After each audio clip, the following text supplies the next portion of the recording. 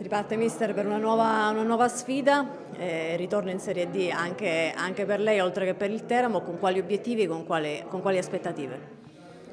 le aspettative alte però è importante che si riparte con tantissimo entusiasmo, eh, con la consapevolezza che andiamo a affrontare un bel campionato, un campionato molto competitivo, dove andremo a affrontare veramente tante piazze importanti, tante piazze storiche come, come il Teramo L'obiettivo è quello di cercare di fare il massimo, come, però con la consapevolezza, come ha detto prima il Presidente, che davanti a noi sono quelle 5-6 squadre che a livello di esperienza, a livello di budget stanno davanti a noi, però noi dobbiamo fare, cercare di fare il termo, cercare di onorare al massimo questa maglia, che è una, massima, una maglia importantissima, e come ho detto prima cercare di portare a casa sempre il massimo. La terza stagione in biancorosso fa felice anche lei? Ma come no, sono contentissimo, sono contentissimo, è una cosa inaspettata se ripensi al primo, se io ripenso al primo giorno quando sono arrivato a Termo, credetemi, era difficile da immaginare un epilogo del genere, sono contento però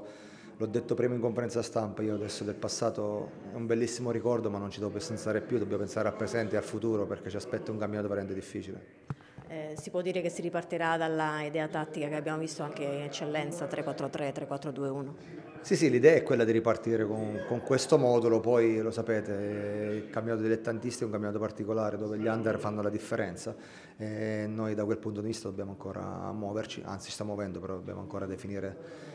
degli acquisti, quindi a seconda degli acquisti, a seconda degli under, eh, dei ruoli che, che, troviamo, poi io mi regolo di conseguenza, però è normale, l'idea mia è quella di cercare di ripartire con quel modulo.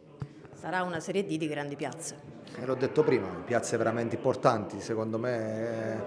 è, è come la vecchia C2, come la vecchia C2 sarà un campionato affascinante da giocare, bellissimo da giocare, è importante però farlo nel migliore dei modi con la testa giusta.